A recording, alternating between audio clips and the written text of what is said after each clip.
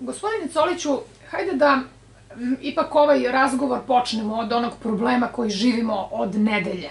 Ono što se desilo e, prema staničenju kod Sopotskog hana i dalje je aktuelno, problem je i dalje tu. Morala je da se uvede vanredna situacija i moramo da budemo oprezni, da se preduzmu određeni koraci kako bi se sve to i sredilo na najbolji mogući način.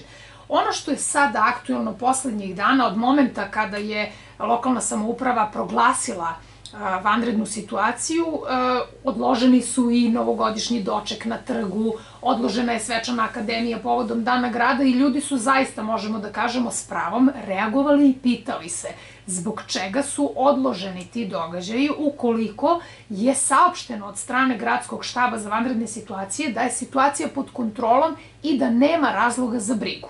Hajde da objasnimo zbog čega je to tako i kakva je trenutno situacija. U redu. Uh, što se tiče, znači krenut ću sa kraja vašeg uh, pitanja, da odmah odgovorim na, na suštinu.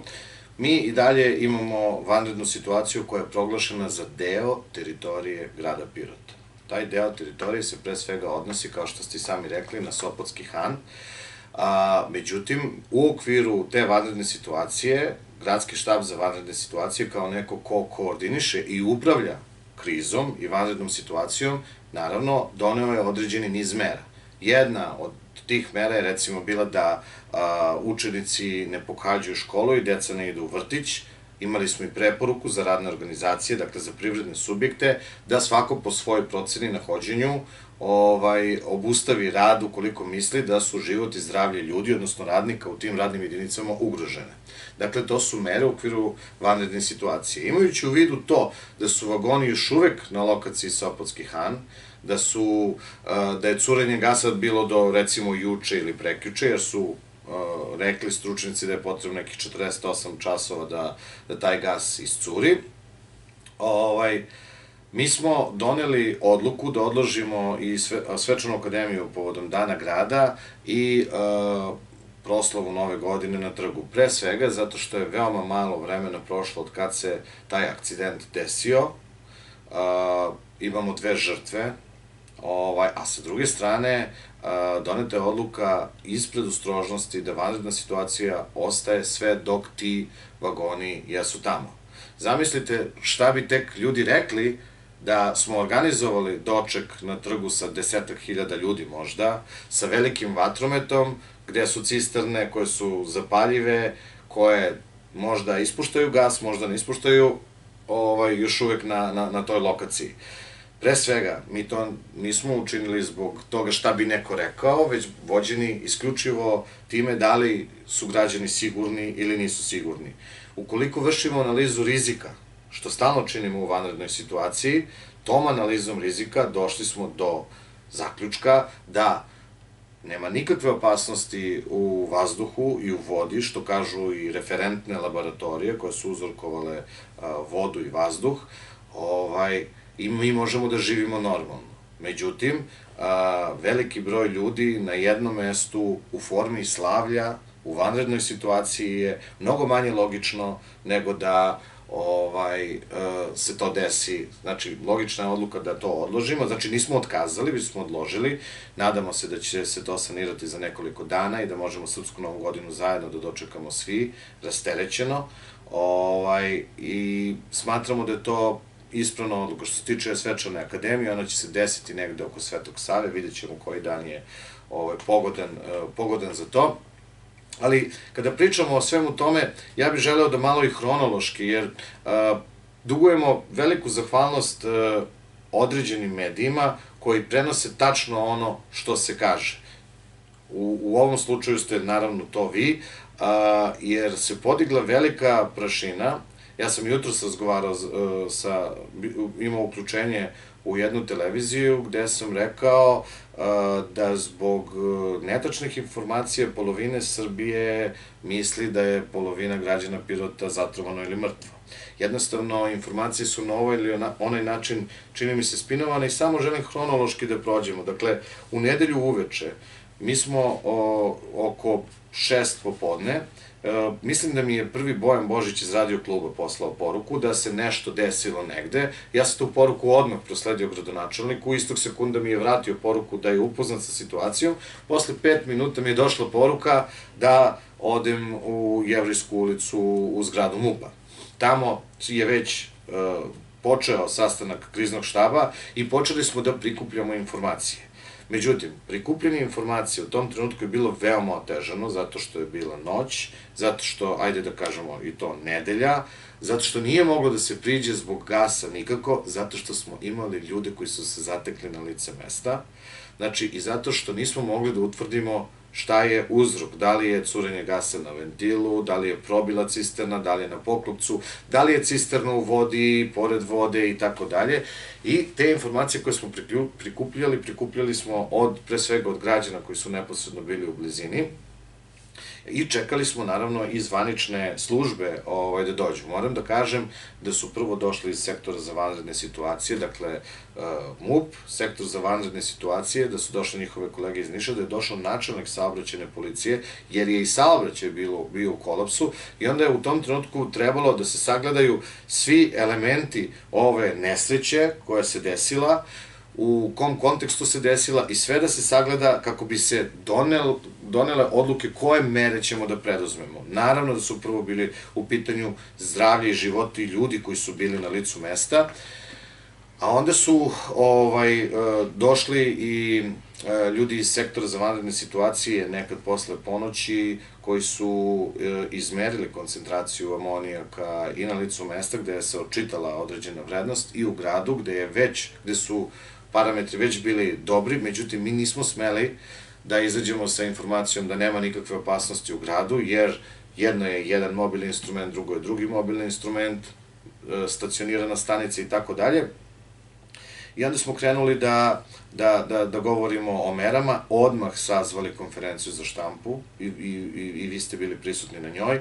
O, i na toj konferenciji doneli odluku da uvedemo vanrednu situaciju za, za deo grada, tada rekli građanima i novinarima tačno ono, podelili svako saznanje koje imamo, ni e, prepumpavajući priču, ali nikako ni, ne želići da bilo šta sakrijemo. Ja dva dana pričam, desilo se curenje gasa, amonijaka iz cisterne, ni manje, ni više.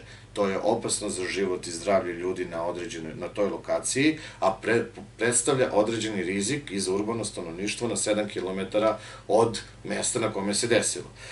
Nakon toga dobio sam informaciju da će ljudi iz Eliksira Prahovo, koji su vlasnici ovaj, e, tog tovara, e, ne osjećajući oni nikakvu krivicu, jer i po zakonu o prevozu, prevoznik je odgovoran za robu, svojstva robe, kao i dejstvo robe na životnu sredinu u toku prevoza, dakle on preuzima tu odgovornost po zakonu. I u tom smislu ovaj, oni su osjećali neku moralnu odgovornost i želeli da pomognu i, i krenuli prema Pirotu. Ja sam ih dočekao otprilike, možda je bilo tri ujutru, međutim oni su želeli da prvo sa svojom opremom i sa ljudima iz infrastrukture pokušaju da saniraju tu štetu, odnosno uh, uzrok te posledice koji se desio, da vide da, da li mogu da saniraju curenje gasa. Informisali su me oko 3-4 ujutru da to jednostavno nije moguće, jer je šteta na poklopcu cisterne gde je ona najjača, da su neki šafovi uh, izbijeni odatle i da oni to ne mogu da saniraju.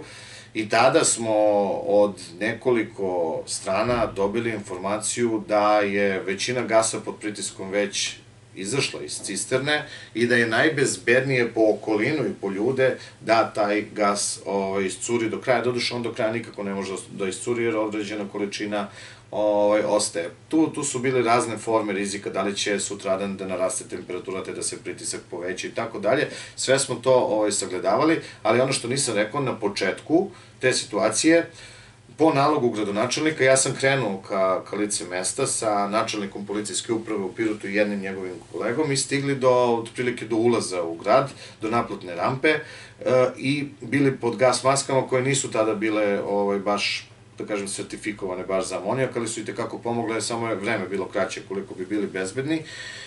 I kada sam skinuo tu gas masku, vidio sam da tamo ipak ima neke kontaminacije, dakle subjektivni osjećaj je bio takav da se amonijak u vazduhu osjećao i onda sam otišao i izvestio gradonačelnika da rizik stvarno postoji, tu je sad bio i faktor vetra i tako dalje, da li, da li će vetar prema Pirotu da ide.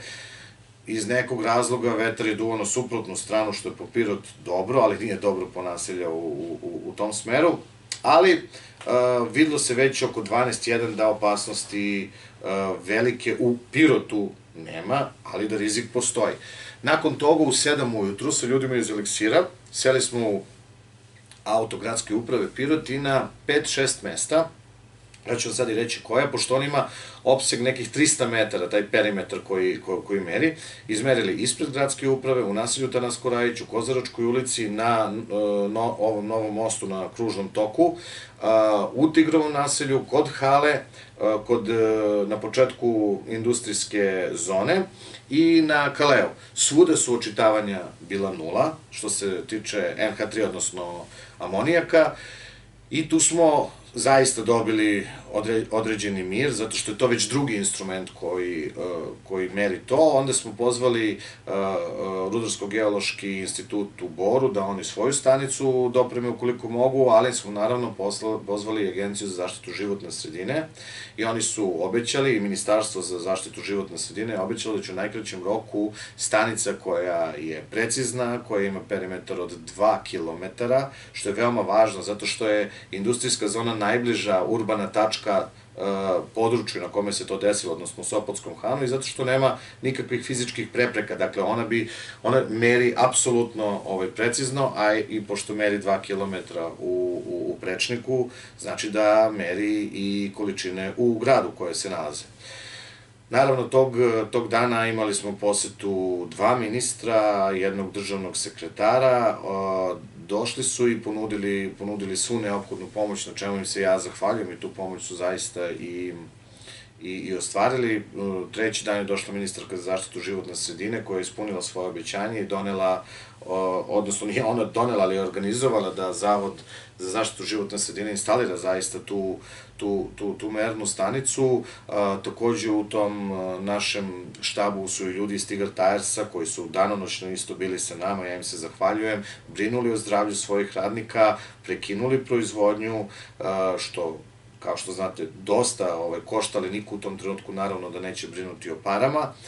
I na njihov predlog mi smo tu stanicu instalirali u, u, u krugu fabrike Tigar Tires, ona i dan danas radi i svakog trenutka svaki građanin može na internetu da očita ovaj, u real time-u online svo, uh, situaciju u, u vazduhu.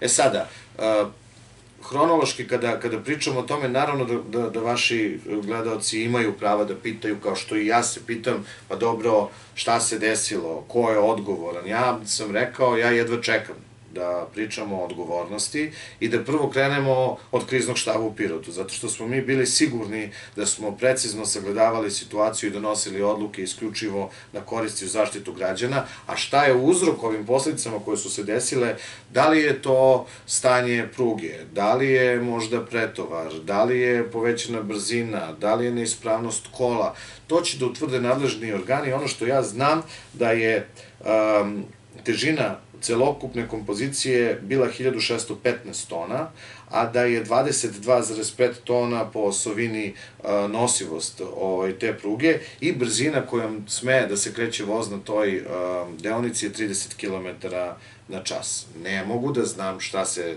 desilo, pre svega zato što je e, tužilaštvo pokrenulo postupak prikupljanja informacija, i oni su na, na tom uh, delu uh, verovatno prikupljali neke dokaze uh, i mislim da oni treba da se oglase, a da krajnju uh, odluku o tome da li je neko kriv ili ne, ne donosi tužilaštvo, nego donosi sud, ukoliko tužilaštvo pokrene određenu vrstu postupka. Uh, siguran sam da postoje institucije i fizička lica u okviru institucija koja snose ovaj deo odgovornosti, ali znam da je prevozioc Srbija Cargo, da je prevozilac dužan da brine o teretu i o svojstvima robe u, u koja se prevozi, kao i o eventualnim uticajima koji ta roba može da ima na životnu sredinu i na na, na okolinu, na, na, na ljude. Tako da, ja mislim da, da je veoma važno reći da su država i državni organi u kriznoj situaciji dobro izreagovali. Evo recimo, samo ću vam reći pored zatvaranja autoputa i ostalih stvari. Recimo, grad Pirot je, a to gradonačelnik nije pomenuo, a lično su, je on ovaj, to inicirao, mi smo morali da imamo grejnu sezonu, odnosno da mi smo sad grejne sezone, mi smo sutra dan morali da imamo gas. Organizovano je da se gas propusti kroz autoput kako sutra ljudi ne bi ostali e, bez grejanja. Mislim, postoje toliko uh, faktora u toj slagalici koje u, datom trenutku moramo da sagledavamo i koje posledice imamo i na zatvaranje autoputa, na otvaranje um, alternativnih puteva, pa da li policije ima, koliko ima svojih pripadnika koji moraju da signaliziraju, da saobraćaju, upravljaju na ovu, na onu stranu. Još milion stvari koje su vezane za život građana mimo toga što se, što se desilo, desilo na terenu. I zaista mi na moju veliku žalost, e, ja od prvog dana mog mandata u gradu Pirotu, ako se sećate, krenuli smo sa koronom i vanrednom situacijom u koroni, koja je bila još složenija slagalica, pa smo onda posle toga već u januaru imali one poplave, znači, pa smo imali energetsku krizu koju i dalje imamo, pa sada imamo ovo, malte ne kao da stalno probamo neke krizne situacije usavršavamo, naše delovanje, ja zaista smatram da mi treba da postanemo društvo koje na vanredne situacije gleda dosta ozbiljnije u smislu postojanja protokola um, i toga ko će se kako u kom trenutku ponašati na određeni način, ko je zadužen za bilo šta kanali komunikacije kao kanali odgovornosti. To sve na papiru postoji i mi smo, i, mi smo čini mi se, išli knjiški ovaj, po tome. Naravno, ima tu raznih pitanja. Znači, ima pitanja zašto nisu sirene upaljene u gradu. E, mi, mislim da smo krenuli sa inicijativom za izradu akustične studije oko uzbunjivanja, odnosno obaveštavanja zvučnim signalom građana o određenoj vrsti opasnosti. Podsjetit ću vas da smo mi poslednji put sirene čuli 99. godine, nažalost. Možete misliti šta bi ljudi e, shvatili kako bi se ponašali da su čuli sirene za protivvazdušnu opasnost koje mi imamo. Smatramo da je potrebno da napravimo akustičnu studiju, vrste signala, sa tim vrstama signala da upoznamo građanstvo, da znamo koji signal znači za šta, pa da onda po, krenemo po tome, po tome da, se, da se ponašamo. I kažem, ima još puno stvari koje se, ovaj, koje su se događale, mi nemamo vremena sada da pričamo o tome, ali želim samo hronološki da, da objasnim uh, kako se to ovaj, uh, i šta se zapravo desilo. Uh, kako bi ljudi stekli pravi uvid. Mi, juče smo izdali saopštenje za javnost, opet smo uzrokovali vodu na, i na izvorištima, i u bunarima, i u vodovodima, i u reci Nišavi, ta voda je u redu. Opet smo uzrokovali uh, vazduh, odnosno on se stalno prati, pa imamo ova uh, zbirna praćenja i to je u redu, ali iz predustrožnosti, zato što je to još uvek na toj lokaciji, mi ostavljamo vanrednu situaciju, a u vanrednoj situaciji ne možemo da organizujemo kolektivni doček nove godine, što zbog bezbednosti, to i zbog žrtava koje smo imali. A, apsolutno tako. I ono što je važno da kažemo da su vagoni i dalje tamo. Da. E, ono što sledi dalje, hajde da kažemo šta je to. Danas je počela operacija izvlačenja Jest. tih cisterni. Ko to radi, koliko će da traje, tu prosto da negde upoznamo ljude sa onim što predstoji. I da pomenemo naravno i potencijalnu opasnost o kojoj smo pričali. Tako je. Dakle, e, kada sam pomenuo dolazak e, ministara, on je do, ministra Vesića, on je došao sa, sa svojim pomoćnicima. Jedna od njih je bila gospođa Dimovski, ja mislim, koja je zadužena za železnički prevoz i ona nam je e, u tom trenutku objasnila kako ta operacija treba da bude. Dakle, pošto imamo određeni broj vagona u kompoziciji sa jedne strane koji stoji na šinama i sa druge strane koji stoji na šinama, a četiri vagona u sredini su ovaj, uh, skliznuli i nalaze se ovaj, pored uh, šina, potrebno je da se prvo deo kompozicije, jedan deo kompozicije odvuče prema Nišu, drugi deo zdrave kompozicije odvuče prema Pirotu, onda vrši sanacija pruge, nakon toga sa dizalicom od 120 tona se dižu i ja i krizni štab smatra da je to najrizičniji trenutak kada se te uh, cisterne dižu na tada već rekonstruisanu prugu, jer E, to je jedna složena operacija, tu je nadležna infrastruktura železnica da ukoliko nema svojih kapaciteta, angažuje nekoga ko to može, ali mislim da oni imaju ovaj, tih kapaciteta i da će oni biti odgovorni za sprovođenje tog postupka. Dakle, oni će na, to raditi. Da, na, na, na zakonom predviđen način. Da li će oni još nekog angažovati da tu pomogne, ja zaista ne znam, ali je to u, u, u njihovoj nadležnosti i sada ja moram da citiram i ono što su oni nam rekli, to će trajati nekoliko dana. Mi zaista mislimo da u prvih 7, 8 do 10 dana januara to mora da bude, da bude otklonjeno. Uh, I tu treba razmišljati o tome da se, na, da se građani u, na Sopotskom hanu, možda i u staničenju, obaveste o toj složenoj operaciji i da budu pripravni da kanali komunikacije budu otvoreni, takođe, da neko iz kriznog štaba od nas bude tamo na licu mesta i da zajedno ovaj, svi onoliko koliko smo u moći, u nadležnosti, završimo ovaj postupak i kažemo na kraju da se akcident desio, da smo bili u riziku, da smo preuzeli mere, da rizika više nema i da život nastavljamo da živimo onako kako smo to činili pre toga. Da. Hajde da se sada okrenemo i analizi 2022. godine. Upravo negde to je ideja i tema svakog video presinga, pogotovo u oči nove godine. Zato ste ovde da prosto sagledamo sve ono što se desilo u ovoj godini. Bilo je problema, eto sada ste ih nažalost i pomenuli, mnogo vanrednih, da kažem, pod na, znacima navoda situacije i poplave i covid i sve ono što nas je nažalost zadesilo, ali COVID je dozvolio u ovoj godini da se vratimo normalnom načinu života. Koliko je to bilo moguće? E sada, lokalna samouprava, javna preduzeća, svi oni koji su negde na teret budžeta, imali su brojne aktivnosti u ovoj godini. Mnogo projekata, velikih investicija, bilo i onih manjih, tekućih problema. Hajde da sa vaše strane čujemo analizu te 2022. godine i po čemu se ona izdvaja sada.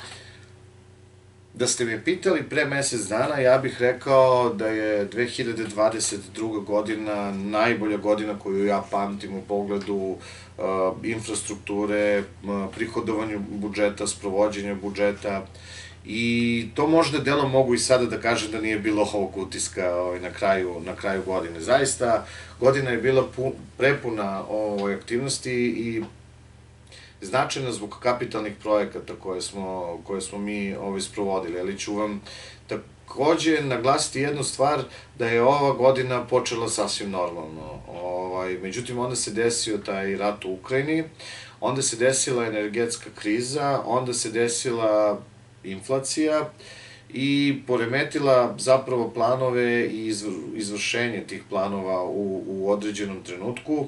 Bogu hvala, između ostalog, što je Pirot toliko likvidan grad da je mogao bez problema da, da funkcioniše, što nisam siguran da je slučaj sa ostalim gradovima u Srbiji, ali jednostavno ta kriza koja utiče na celu Evropu, pa mogu da kažem i svet, došla je, došla i kod nas. Pre svega, kod nas se to ogleda u povećanju cene materijala i cene rada za određene usluge, da li je to za niskogradnju, da li je to za objekte javne namene, te smo morali da ovaj, razmišljamo malo i na krizni finansijski menadžment, ovaj, ali eto, priveli smo godinu kraju, nadam se, nadam se onako kako smo i planirali, na zadovoljstvo svih ljudi koji žive u Pirotu, ali ja bih da izdvojim neke stvari, evo recimo, ono što sam ja ovaj, lično nazvao finansijski podvig koji smo učinili sa, sa, zatvorenim, sa ot, kompleksom otvorenih bazena, da u trogodišnjem finansiranju sami, bez ičije pomoći,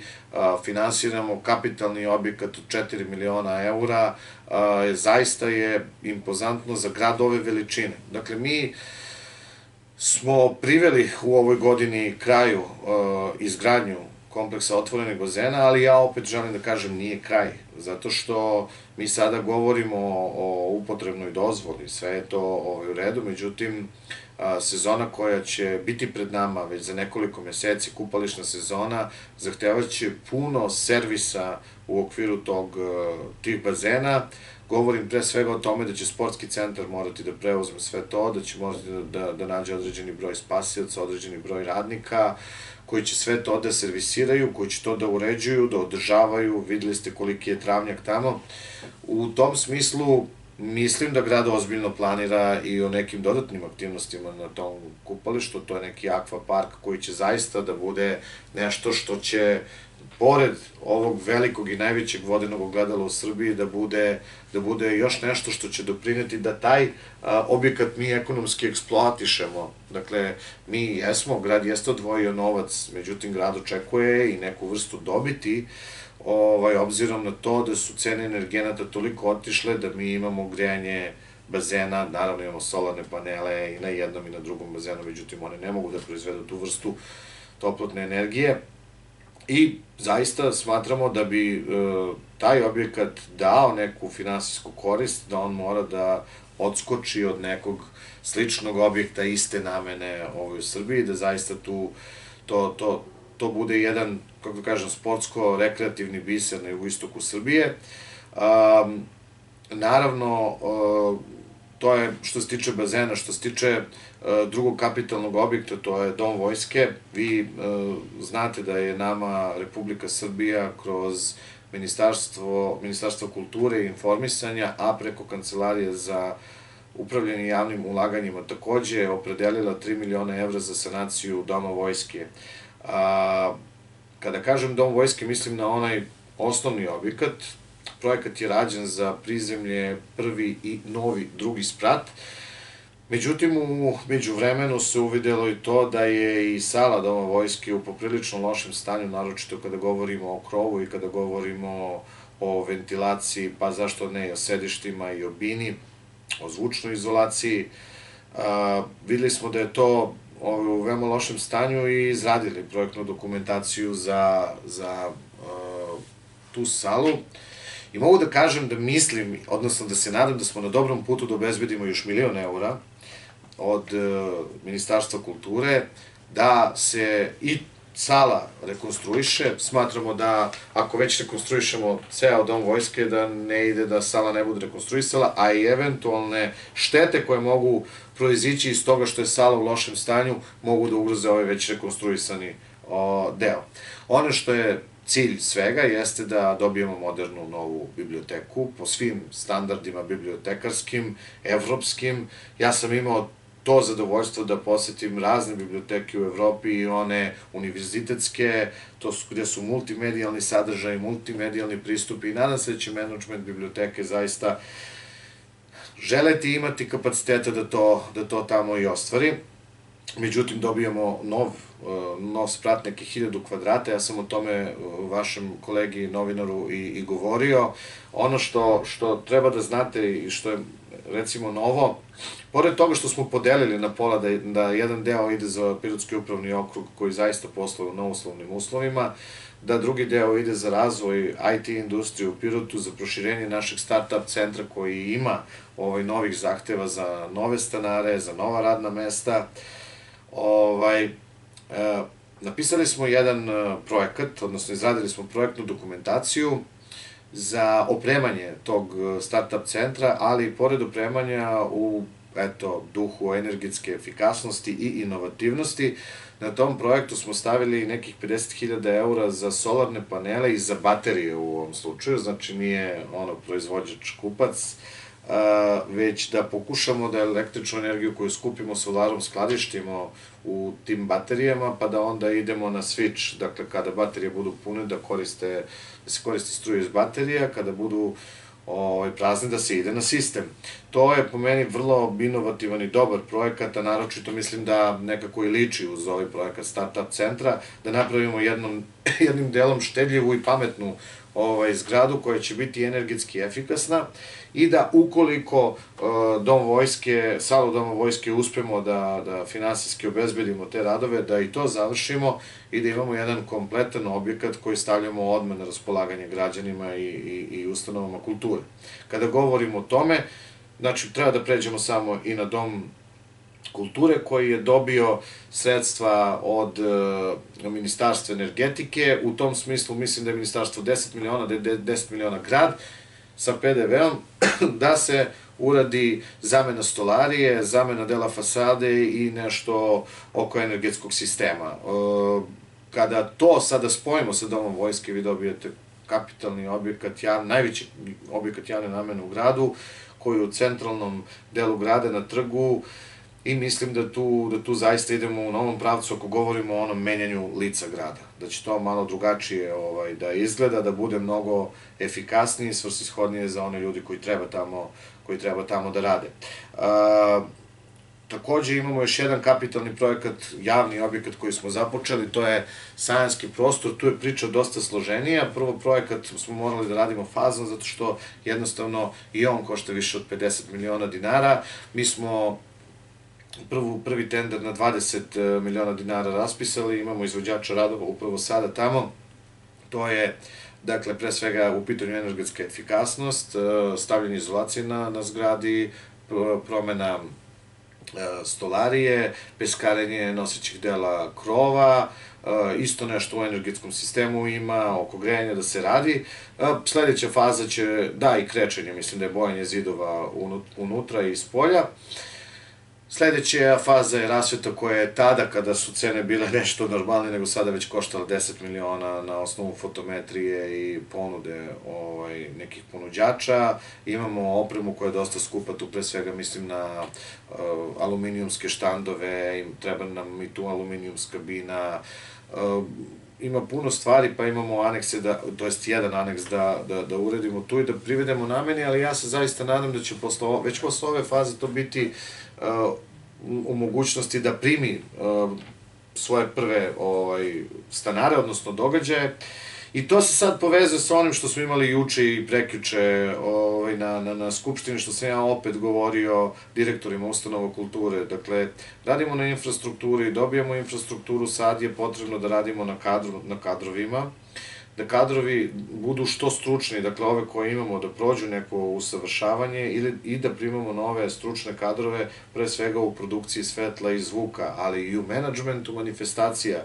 Ako želimo da Pirot postane grad sajmova i ako već iz budžeta mi organizujemo neke sajmove, moramo da znamo ko te sajmove od ustanova kultura nosi ovaj, i šta ti sajmovi e, imaju za svrhu Dakle, u redu je sajam knjiga, sajam peglane kobasice, sajam sira i kačkavalja, sajam čilima, sajam profesionalne orijentacije.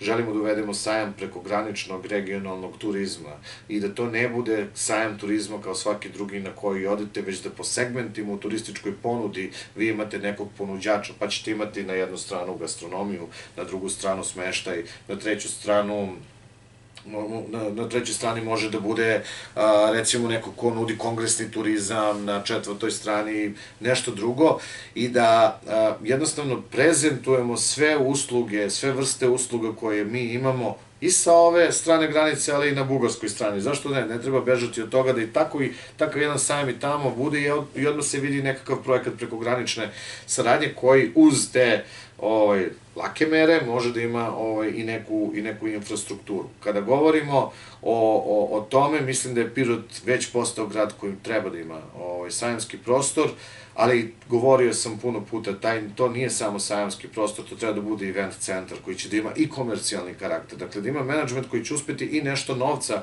da zaradi od toga. To neće da bude objekat koji će se grejati recimo 365 dana, odnosno trošiti struju 365 dana, da se napravi kalkulacija svakog događaja i šta su servisi koji onaj ko to, ko s time bavi može da, da, da, da koji su servisi koje, koje on može da ostvari. A, pored toga im, otvorili smo malu scenu, moj, naš ponos, zato što mislim da smo već na, u prvoj godini dokazali, ona je koštala 15 miliona dinara. Prvo, toliko je, kažem, inovativna, da, da smo napravili backstage i deo depoa dole, tu malu scenu nekako čin, prilagodili našim potrebama, Znači, tamo je uh, jedan prostor koji može da primi od, uh, ne znam, 200 ljudi do 2500 ljudi koliko je bilo na koncertu Saše Kovačevića. Ovaj, takođe, tu nam je Ministarstvo kulture na programu Gradovi u fokusu uh, dodelilo 8 miliona dinara, gde smo mi uložili milion i 500 hiljada dinara. Mi smo kupili razglas i deo rasvete uh, i dobili i kupili jedan ozbiljan uh, projektor gde možemo da, da, da, da prezentujemo i film, mobilni projektor naravno, gde možemo prezentujemo filmove i da imamo festivale i na maloj sceni, ali i, i na, drugim, na drugim mestima. Šta je tu dobro što smo uradili? Razglas koji smo kupili je nadgradiv.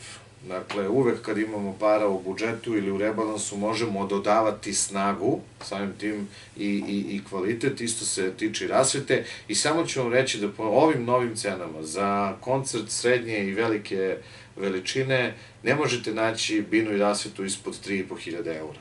Dakle, po jednom koncertu štedimo 3.500 eura uspostavljanjem te vrste infrastrukture. Naravno, taj objekat je predviđen i za deo teatra, nije baš folklorna bina, nema 120 kvadrata, ali folklor se održava na drugom mestu. Videli smo kako sajam Ćilima možda bude mnogo lep ovaj, kada, kada se planira smerno, kada se plan, planira na, na tako nekom lepom mestu, to je mesto koje je u centru grada, to ima svoje kulturno nasledđe, ravan je prostor, uh, ograničen je u smislu imamo ogradu, imamo energetski sistem, stabilan trafostanicu tu i to se kada, kada pitate ljude nešto o tom prostoru, niko neće da vam kaže stari dom vojske više, nego će svi da upotrebljavaju reč dvorište arhiva.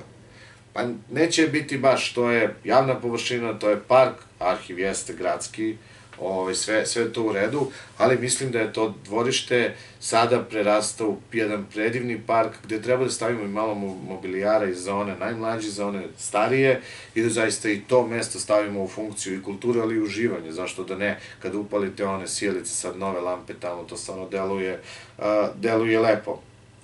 Uh, Od kapitalnih projekata mogu da pomenem još i uh, poligon uh, koji smo izmestili da tako iz centra grada, a ovaj bivši poligon ćemo uh, pretvoriti u parking mesta. Naravno, bit će još parkirališta tu, već ih projektujemo. Uh, Ovaj, to je investicija od 50 miliona dinara, taj poligon bi kada se završi trebao da ispunjava uslove za sve kategorije vozila, za polaganje vozila svih kategorija i da vam kažem, time mi direktno pomažemo privrednim subjektima, odnosno autoškolama koje se bave obukom vozača na teritoriji grada, jer im dajemo mogućnost da ne idu više za Niš ovaj, sa svojim kandidatima, već da tu obuku čine ovde u Pirotu, na šta sam ja zaista, zaista ponosan, jer ne samo infrastrukturalno, već pomažete zaista i privredu na, na, na, na, na taj način.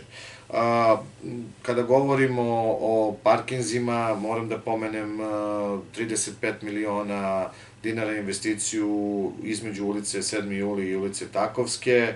A, imamo i parking na Kaleu koji a, eto, privršava se, neće biti do kraja godine, ali će se, će se privršiti ubrzo.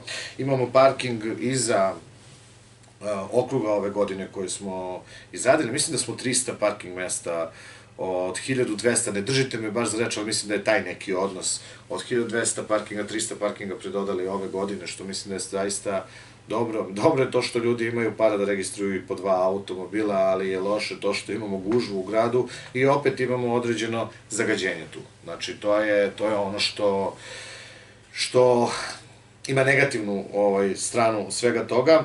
Uh, takođe, uh, ja, ja ću sigurno neki projekat zaboraviti, ali recimo ono što mene posebno raduje jeste i novi trening centar koji smo otvorili ispod startup centra. To jeste da se otvora u okviru ZIP centra za mlade, ali to treba da ima malo drugačiju, druga, drugačiju svrhu, da zaista sve trening provajdere koje imamo u gradu i sve kompanije koje imaju kapaciteta da izvrše neki trening skupimo na jedno mesto i da kažemo svima koji nemaju posla evo, ovo su vrste treninga, koje, edukacija koje možete proći, nakon tih treninga, nakon određenog završnog ispita i prakse u, svojim, u našim kompanijama, vi možete da dobijete pristojan i dobro plaćen posao. To je cilj da imamo nekoliko sertifikovanih uh, javno priznatih organizatora aktivnosti, to, to je zakonska formulacija, koji to mogu da rade i da na taj način zaista smanjimo nezaposlenost uh, u, u, u Srbiji. Mislim, i po lokalnom akcijnom planu za zapošljavanje to činimo, da sad ne počinje tu priču, nemamo vremena, ali to je jedan infrastrukturalni objekat koji nije mnogo koštao, a koji nam je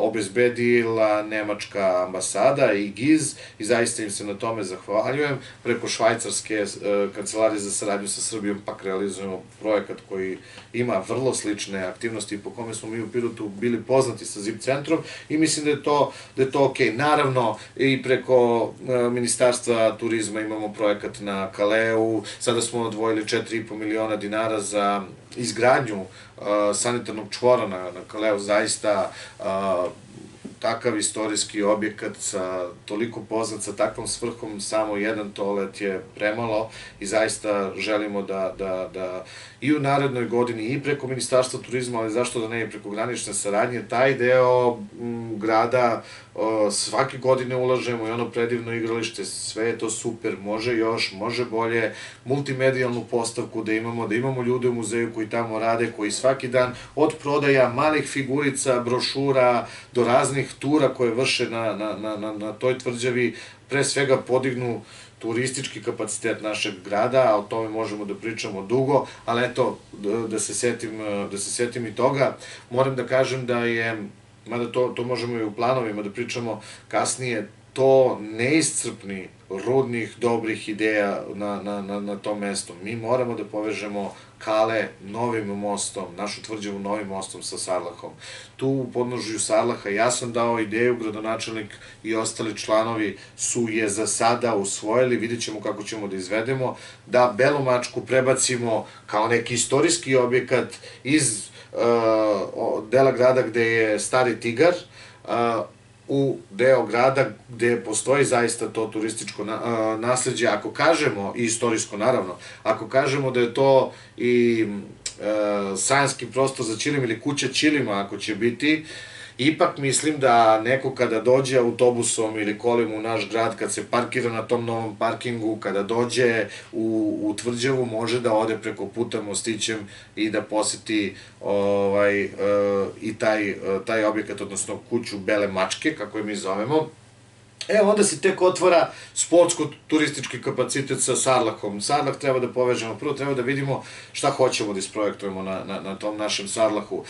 2008. godine je sportski centar i 9. i 10. uređivao trim staze, čak i nešto malo osvetljenja. Nažalost, to su huligani oštećivali, nismo imali nadzor ko to tamo šta radi, ja sam siguran da uz pomoć dobrih kamer, kamera, visoke rezolucije, termovizije i svega ostalog možemo da zaštitimo taj teren ili sa Stuartom koji bi bio zadužen i za Kale i za buduću kuću Bele Mačke i za Sarlak, tu zaista možemo na tom Sarlaku da napravimo par vidikovca koji ovaj, mogu da budu u turističko-rekreativne svrhe, ali prvo da vidimo šta mi hoćemo, da osmislimo projektni zadatak, da neko to isprojektuje, onda ćemo da tražimo ovaj, uh, sredstva za to. Kada go, to, to su sve priče o objektima. Kada govorimo o ulicama, njihov spisak je poprilično dug. Ja imam ovde nešto što čega sam se setio, ali pre svega da napomenem ovo poslednje. Znači, kružni tok srpskih vladara prema Vojvode Mišića do Lidla, odnosno do vodovoda, i asfalt, i trotoari. Zaista mislim da je to jedan od većih poduhvata što se tiče infrastrukture, imamo trotoare u Čirila i Metodi, imamo ulicu Sensku, imamo uređenje puta do toplog dola, imamo apsolutno uređene trotoare, parkinge i, i sjelice u ulici Jevrijskoj, a, imamo ulicu u selu Vlasi, selo Rasnica, to je ona polovina onog kružnog toka, znamo da trebamo još polovinu tog kružnog toka da, da, da, da izgradimo, a, do sela Ragodeš, odnosno put do sela Ragodeš, trotoari od Cara Dušana, ulica revolucionarnih sindikata Sokaci, Stojana Milodinovića, Gnjilan Sokak, Cerova dva Sokaka, Rudinje 500 metara, Držina Sokaci, Poljska Režana, Vojnegovac onaj put koji, o kome smo toliko pričali i tu imamo drugu fazu na tom putu isprojektovano, Sukovo prema Belom polju, onaj put koji smo skoro posetili, Barije Čiflik, Carice Milice, Majora Tepića, ima tu puno stvari, sada kada bi nabrajali, baš, baš bi ovaj, išli u, kako kažu, sitno crevca, ali ono što, što ja hoću da kažem, I kada sam govorio uvek o našem budžetu, on je karakterističan po tome što u prvom inicijalnom budžetu mi vrlo precizno ovaj, i, kako da kažem, pažljivo projektujemo ono što želimo da postignemo, posle u rebalansu, ukoliko ostane, a obično ostane, mi opredelimo za uh, značajniju infrastrukturu, ali oličenje budžeta grada Pirote u godinama koji su bili za nas inicijalni rebalans i uvek projektna dokumentacija spremna na stolu da se izrade projektni predlozi kako bi neko ili kroz prekograničnu saradnju ili kroz ambasade ili kroz ministarstva Pirot podržao finansijski i zaista smatram da, da će to biti i ove godine. pomalo se, imam i pozitivnu tremu od januara meseca, meseca koji dolazi, kada krenu svi javni pozivi za lokalne samouprave, znam da će januar i februar biti poprilično naporni za sve nas u gradskoj upravi, ali to je trenutak kada se, kada se uzima no, uzimaju sredstva i to je trenutak kada se da ta dodatna vrednost budžetu, samim tim i životu, i životu ljudi u, u, u, u gradu. E sada, na sve ovo e, što sam ispričao, mi naravno imamo i neke planove, ali planovi su pre svega vezani za završetak projekata koji su započeti. Znači, tih kapitalnih projekata pre svega, ja sam ovde, ovde stavio uh, nas, uh, ove godine očekuje najveći infrastrukturalni projekat koji će se desiti u narednih nekoliko godina, a to je početak radova na postrojenju za preradu otpadnih voda. To je projekat od 16,5 miliona dinara gde će država nas podržati sa polovinom, polovina će biti kredit. Mislim, ugovorni odnos će se tu verovatno nešto menjati, ali to je nešto što će promeniti život cele Srbije u tom smislu što će i Pirot ući u sistem gradova koji imaju prečišćevače voda i konačno da reke i slivovi, slivove reka ovaj, grad po grad čistimo i da imamo mnogo zdraviju ovaj, životnu sredinu. Kada govorimo o završetku radova, govorimo o svečanom otvaranju bazena i o početku funkcionisanja bazena. Do kraja godine je rok za završetak Doma vojske, ja se zaista nadam i vršit ćemo sve pritiske koliko možemo da vršimo pritiske na izvođača radova da Dom vojske bude ovaj, osposobljen takođe. A, Ono što smo recimo uh, učinili u ovoj godini, mislim da je u prethodnoj, uh, otkupili smo dva objekta javne namene. Govorim o hotelu La Mirage i restoranu u okviru bin, tribine stadiona ovaj, i govorim o Vrelu, uh, o objektu na Vrelu. Ono što trebamo ove godine da uradimo jeste da odvojimo novac za projektnu dokumentaciju, za sanaciju i jednog i drugog. I jedan i drugi su po prilično lošem stanju. Kada govorimo o Lamiražu, mi tu imamo poprilično dobro za te godine isprojektovan restoran, koji smo takođe otkupili, imamo gore neke smeštene kapacitete. Uh, mislim da to trebamo da rekonstruišemo. Ja bi najsrećnije bio kada bi rekonstruisali cijeli stadion, pa da i to uđe u rekonstrukciju stadiona, da tu država možda pomogne, ali nisam baš siguran koliko je to moguće u ovoj godini imajući u vidu sve šta se dešava, ali sa druge strane nas ništa neko šta da isprojektujemo taj deo tu, da popravimo malo parking ispred, jer će taj parking takođe služiti za bazen, pored parkinga na, na samom bazenu, pored pitch terena, pored e, toga što ćemo verovatno i deo nožice Kea koristiti za parkiralište, odnosno preko puta nožice Kea. I tu planiramo uređenje kružnog toka oko e, znači ćoška bazena i da tu takođe uredimo jedan, jedno područje ovaj, za, za parkiranje. Uh, A što se tiče Vrela, to je sveža informacija. Mi smo već otišli gore, ja sam sa, sa, sa Dejanom Ranđelovićem uh, većnikom otišao i moram da konstatujem sa velikim žaljenjem da mislim da se najveći deo objekta mora srušiti i krenuti iz početka, pa čak i ona betonska kamena greda je pukla. Kameni zidovi su u nekom ok stanju, oni možda i ostanu i da očuvaju oličenje tog spomen doma koji je nastao, ne bežimo od toga, taj spomen dom, dom su radili, iz, gradili e, meštani srednjeg visoka. Svako se odricao i svojih volova, i svog vremena, kamena i svega ostalog. Na kraju je to došlo u vlastištvo Subnora. I ljudi iz Subnora su veoma korektni bili prema nama i bili stava da taj objekat i pored raznih pritisaka i ne treba kriti te stvari, taj objekat završi u vlasništvu grada i bude javno dobro.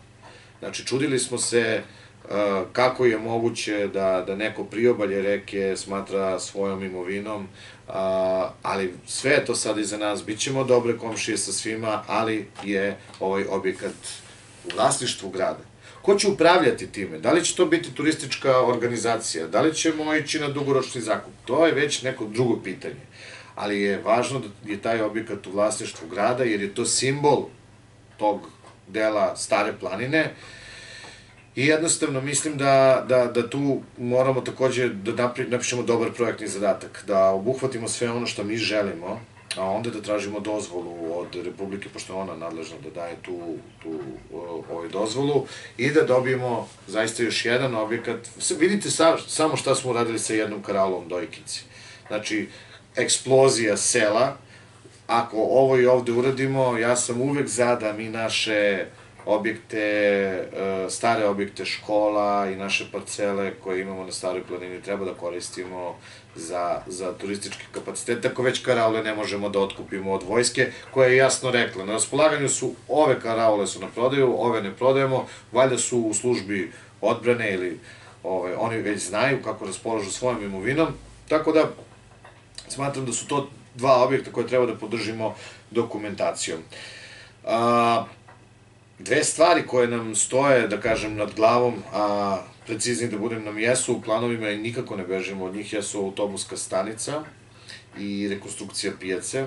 Dakle, još pre dve godine sam rekao ne možemo na 20 ari da imamo i autobusku stanicu i pijacu i školu i benzinsku pumpu i ne znam ja šta već i to, to, to zaista smo namerni da menjamo. Evo da, da vam kažem najsvežiju informaciju što se ajde prvo autobuske stanice tiče. Uh, Mi smo uradili parcelizaciju uh, tog prostora koji planiramo za autobusku stanicu, to je prostor kod Automoto Saveza, odnosno kod tunela. Taj prostor nije u našem vlasništvu, on je u vlasništvu Republike Srbije i Direkcija za imovinu je pre nekoliko dana gradu Pirotu poslala dopis gde je bukvalno nacrtala korake koje mi moramo da učinimo kako bi to došlo u našu svojin, uh, kako bi to dobili na korišćenje, izvinjavam se, Znači, prvo da donesemo skupštinsku odluku o tome da tražimo. Tu skupštinsku odluku smo doneli sada na, na, na, na skupštini, na veću, da predamo informaciju o lokaciji koju imamo. Međutim, traži se od nas i da dokažemo da smo obezbedili sredstva, odnosno projektnu dokumentaciju za taj prostor, tu malo se ne slažem jer ne mogu ja da projektujem na tuđem dok mi se ne dozvoli, ali sam siguran da to nisu stvari koji će sprečiti krajnji cilj, a to je autobuska stanica, ne mogu nikako da kažem da ćemo to ove godine završiti, ali smatram da moramo ove godine da je, da je projektujemo, da imamo predmer i predračun radova, a onda ćemo videti već ovaj, sa, sa državom ili drugim donatorima, ali da znate da nam je to u glavi i da nam je to jedan od glavnih prioriteta. Što se pa pijace tiče, projektno-tehnička dokumentacija je gotova, imamo predmer i predračun radova, Zavod za zaštitu uh, spomenika kulture je radio tu projektnu dokumentaciju, pijaca lepo izgleda na projektu, ono što sledi jeste da vidimo kako ćemo da finansiramo ovaj, e, taj projekat. E, ja pokušavam da pretpostavim šta će pitanja da budu. Hitna pomoć koja je već nekoliko godina. Upravo to. Ovaj, e, moram samo da, da vas na kratko prekinem. Kada ste već pomenuli sve ove... Ovo su dugoročni planovi. Naravno. I rekli ste da je projekat za Dom vojske do kraja godine negde rok. E da. sada, hajde da ukratko samo kažemo rekonstrukcija i nadgradnja opšte bolnice Pirot, Da. Tu nam je i projekat za izgradnju novog objekta i novu lokaciju hitne pomoći. I nešto što se već duže vreme priča, što se ukazalo kao potreba ovog grada, to je dom za stare. Hajde da od te tri teme ukratko kažemo dokle smo stigli u ovom trenutku i šta nas čeka dalje. Energetska sanacija bolnice je završena. Ono što se sada radi jeste projektovanje unutrašnjeg dela bolnice. Ja mislim da sam zapisao negde i, i zapanio sam se uh, da mi smo dali, uh, opredelili 50 miliona, 50 miliona dinara za projektovanje unutrašnjosti bolnice koja je na 28.000 kvadrata. Dakle, kada neko pita što projektovanje unutrašnjosti bolnice košta toliko, 28.000 kvadratnih metara u specijalnim uslovima, sa specijalnim standardima, instalacijama, šta sve jedna savremena bolnica treba da ima, kada tako pogledate to možda i nije ovaj, prevelika suma. A, ono što je sada a, država uradila, dala je oko 3 miliona evra, tačnije 340 miliona dinara za energetsku sanaciju ovaj, bolnice i a, ono što je veoma važno za nas, da, da je grad Pirot zaključkom vlade stavljen na listu finansiranja znači rekonstrukcije bolnice.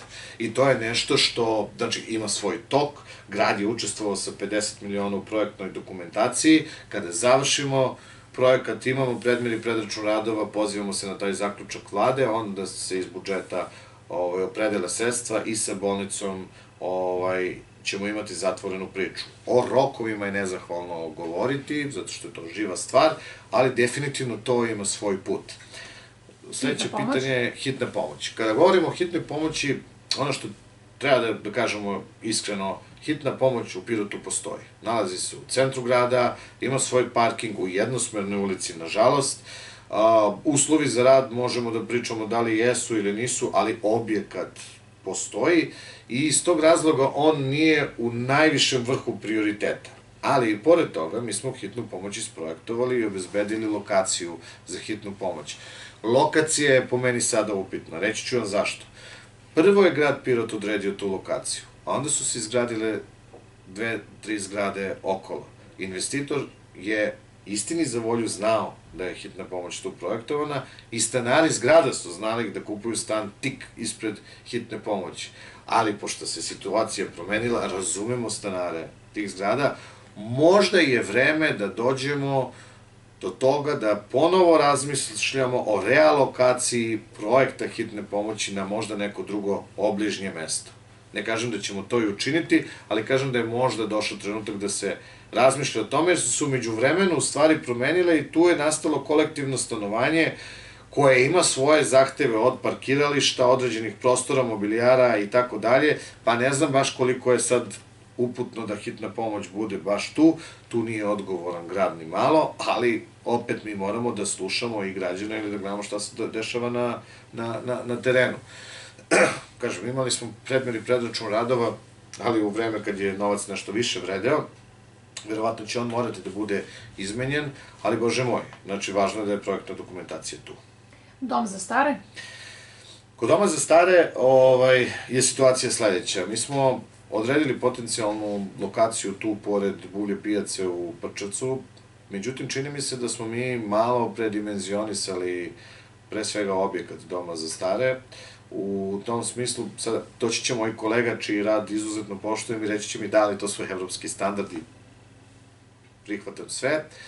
Tu je po meni drugi problem.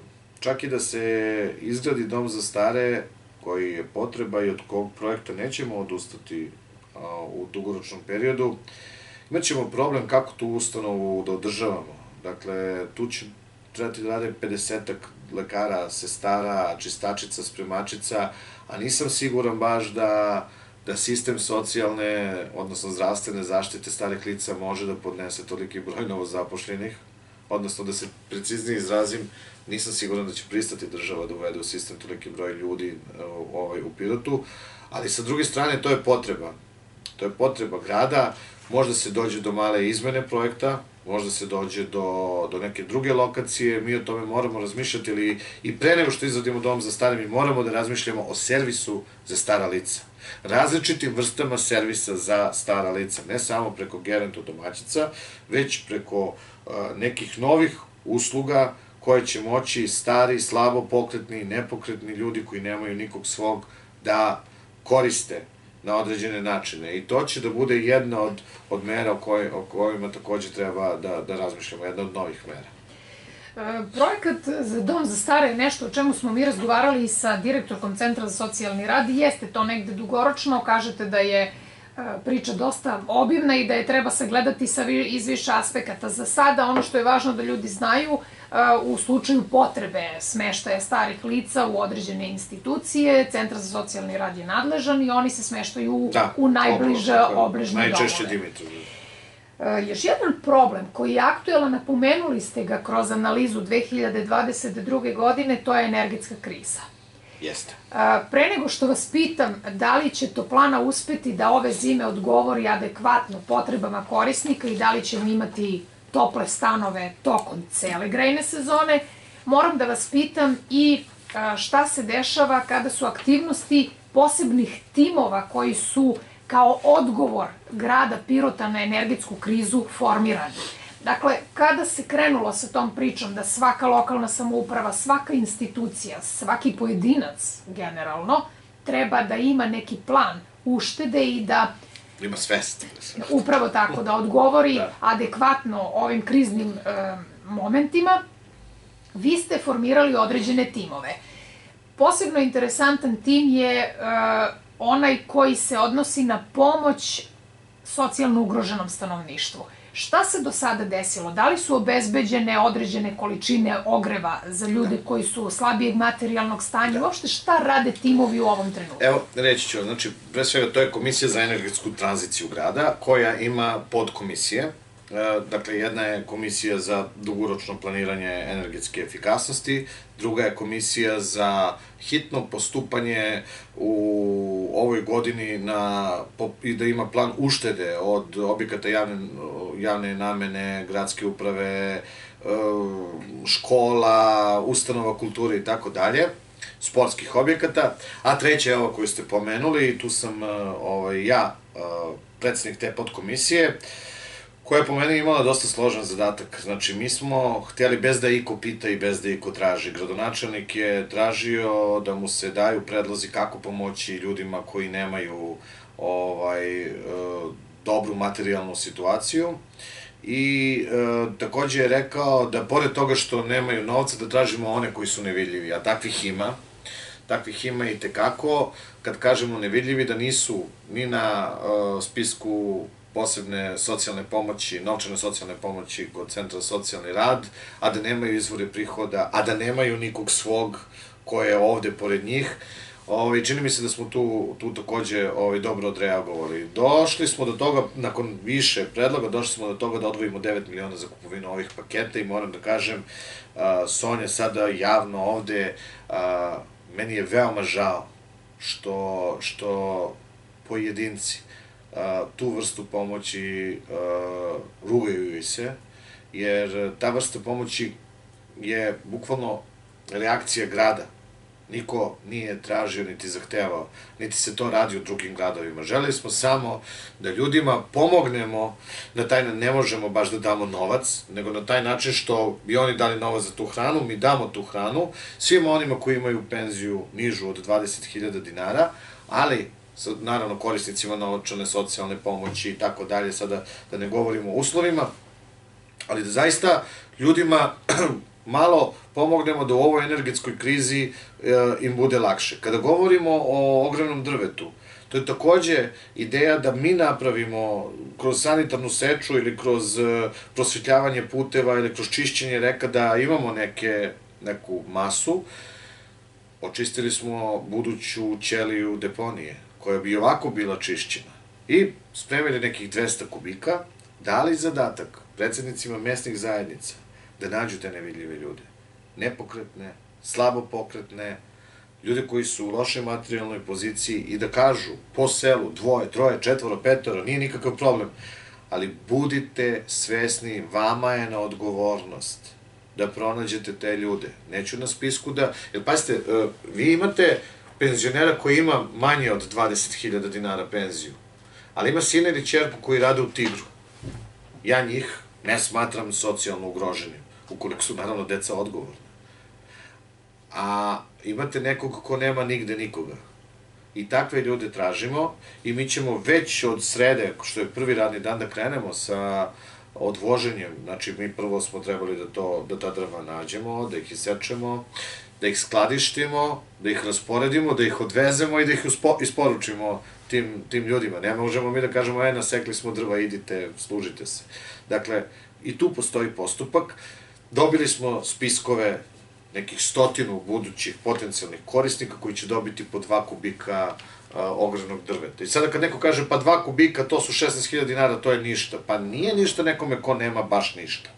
I mislim da je to dobra i mislim da je to inovativna mera. Ove godine, i sad se vraćam na, na vaše pitanje, mislim da će to plana izvršiti svoj zadatak, ali niko ne zna kakva će sledeća godina da bude.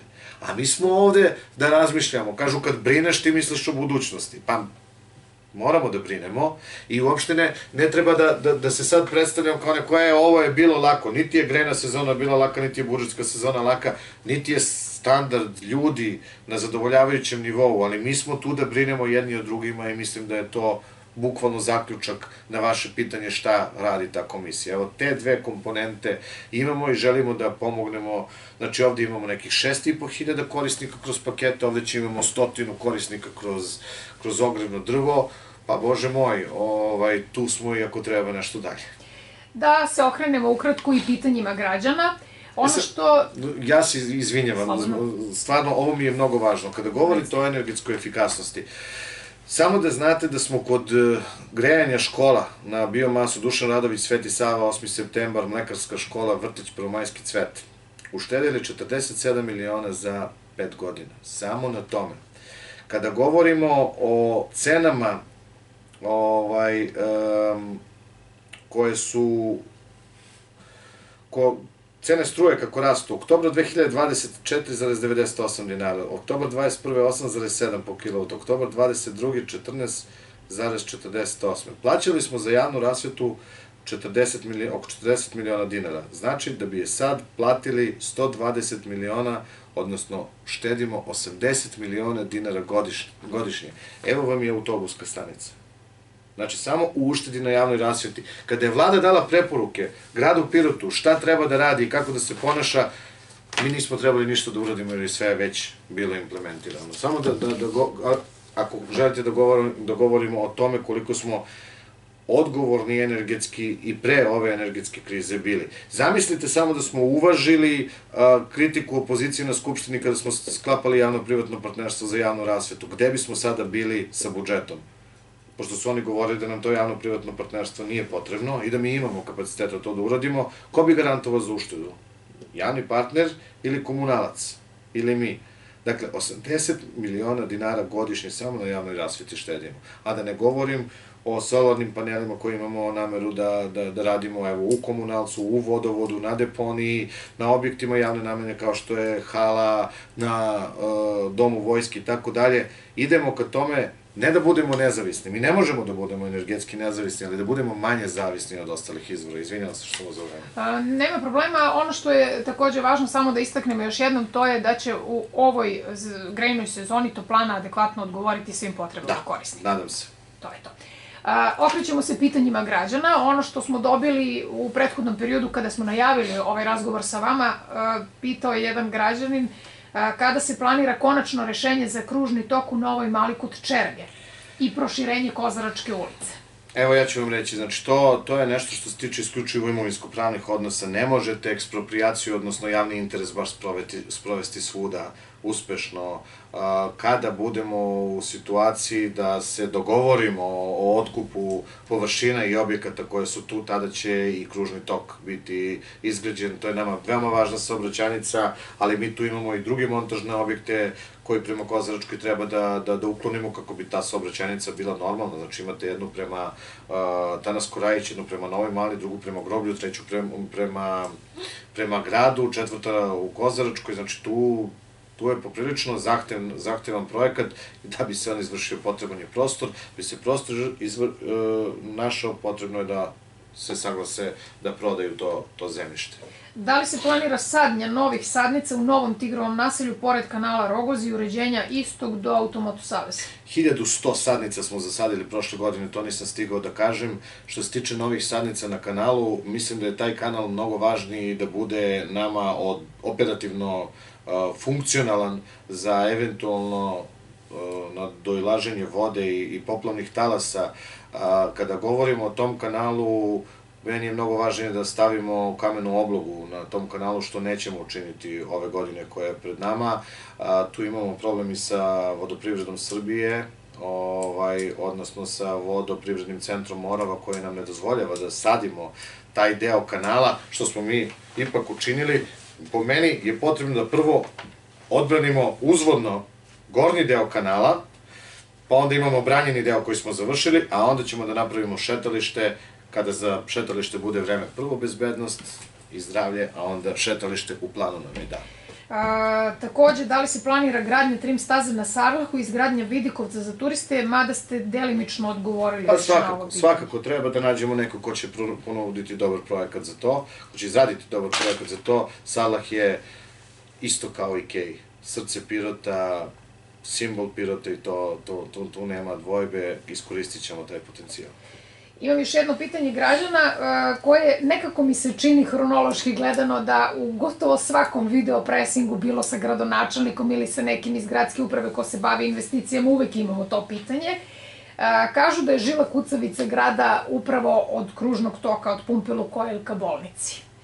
I to je ta petlja ili da. taj, ta deonica je u veoma lošem Jest. stanju i e, mi često pričamo o tome da je neophodna rekonstrukcija tog putnog pravca jer zaista je i najfrekventnija. To je jedini put do bolnice, evo sada kada se ovo desilo, svi su smeravani preko Ponora Jest. do Niša. Zaista je ogromna potreba da se sredi to i bez obzira o čijoj nadležnosti je reč, koliko je lokalna samouprava a, u mogućnosti da to u skorijem periodu i sredi. Evo reći ću vam, od e, Gnjilana pa prema Sadikovom bunaru biće proširena i rekonstruisan taj deo pravca, mislim već ove godine. Kada govorimo od, od Lukojla, znači govorimo o petlji, bez obzira što mi nismo upravljači tog puta, mislim da je to regionalni put, ovaj, bez obzira što nismo, to nas ne lišava odgovornosti da budemo dosadni pod navodnicima državi, da to zaista rekonstruiše i sanira, to je ulaz u naš grad. Kad rekonstruišemo i tvrđavu i parking i sve ostalo, ulazite već u ulicu na, na naš kružni tok, imamo predivan ulazak u, u, u grad. Ako tu bude i autobuska stanica, pa to mora da se rekonstruiše i to će bude jedan od prioriteta našeg delovanja prema, prema državi. U pravu ste. Za kraj, da li možemo da iz vašeg ugla, uh, sagledavajući stvari i život ovog grada um, iz više aspekata, šta biste vi negde u dugoročni plan stavili? Uh, da li je to neki sadržaj za mlade, za stare, za decu, za uopšte za sve kategorije stanovništva? Šta ste vi negde primetili da je možda potrebno da ovaj grad još ima? A da ga nismo nabrojali? Da. Mhm. Mm Pa evo, moram da citiram gradonačelnika, nama je potreban fakultet. Fakultet koji će dati praktična znanja, koji će okupiti veliki broj ljudi, fakultet koji će pratiti tržište rada, potrebe kompanija, fakultet koji će obučavati ljude za a, pristojan posao, za ovaj, fakultet koji će omogućiti ljudima, mladim ljudima koji nemaju novaca da studiraju u Beogradu ili Nišu, da ostanu u svom gradu i da studiraju. Ja sam kao student bio ljubomoran na one uh, momke i devojke u Nišu koji su odlazili kući na toplu supu, spremljenu hranu i čistu postelju.